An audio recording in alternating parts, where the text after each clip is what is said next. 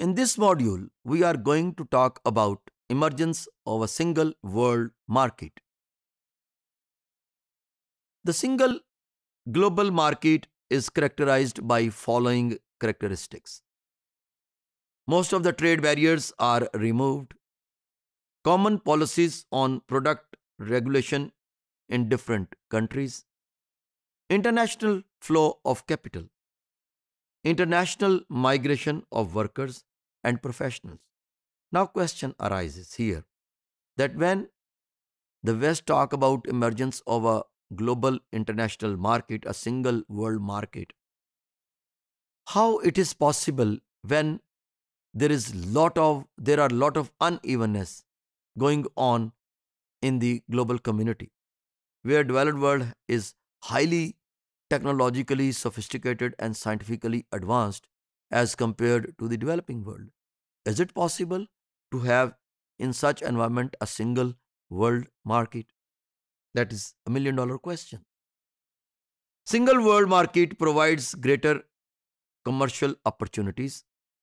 Unit costs are lowered, global suppliers and consumers, access to market becomes easier, exchange of business ideas at global level.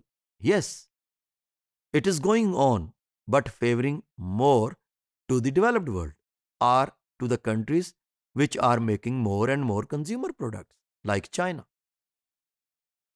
Almost 90 5% of the world toys are made by China. More than 50% world refrigerators are made by China. More than 70% microwave ovens are made by China. So you can imagine the countries which are producing more consumer products, they will definitely get benefit out of this single world market. But what about the countries which are unable to produce such consumer products at such number that could meet the requirement of the global market. Many researchers claim that international migration of workers is not as great as it is portrayed by the advocates of globalization. Integrated economy poses greater risks to the domestic economies major benefits are extracted by the Western world because workers from the developing world are facing bureaucratic glitches and visa implications. There are many restrictions upon the workers who are living in developing world but the people from the developed world or western world can go in any part of the world at large and there are less restrictions upon them almost no restrictions, I would say. It is not a win win situation. Many businesses still face barriers. Economic sanctions are applied by the hegemonic states and international organizations.